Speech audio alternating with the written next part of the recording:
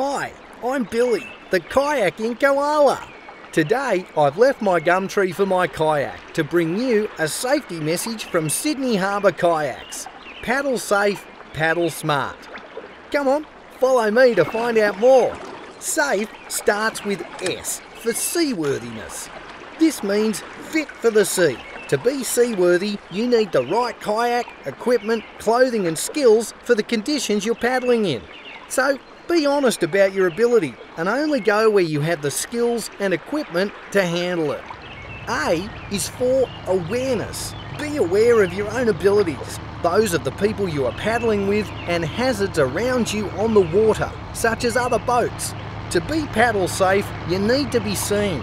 If you're highly visible, you reduce the risk of being run over by a powerboat that can't see you. F is for fitness. Be fit for the times you need to get yourself out of trouble. The tougher the challenge, the greater the level of physical and mental fitness you will need to stay safe. E is for exposure. Paddlers are exposed to all sorts of risks, both natural and human, that have the potential to cause injury or death. And remember, if you get into trouble, it can easily snowball. So always assess the risks of exposure and adjust your paddling plans to stay safe. Paddling safe is also paddling smart. Smart starts with S, for being safe, of course. M is for maintenance. Keep your kayak equipment and kayaking gear well maintained. And don't forget your body. Paddling with faulty equipment or injuries is not smart. A is for attitude, and I don't mean a bad one. It's not hard to have a positive attitude to kayaking. It really is music for the soul. How good is this?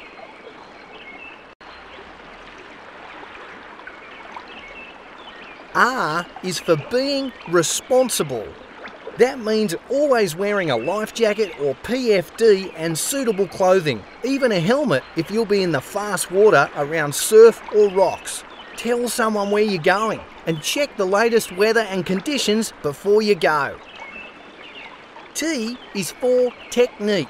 Good technique will really add to your paddling enjoyment because you'll be able to paddle faster and more efficiently. A few tips can make a huge difference.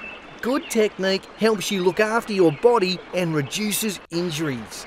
It's smart to get a lesson from a qualified kayaking instructor. Visit learntokayak.com.au to find out more about getting lessons. Okay, let's check this out again. Seaworthiness, awareness, fitness, exposure, safe, maintenance, attitude, responsibility, technique. Safe and smart. I hope you've enjoyed this paddle safe, paddle smart message. Find out more great tips on our website, paddlesmart.org. Thanks for listening. I've got to eat, shoot through and leave now, so see you on the water.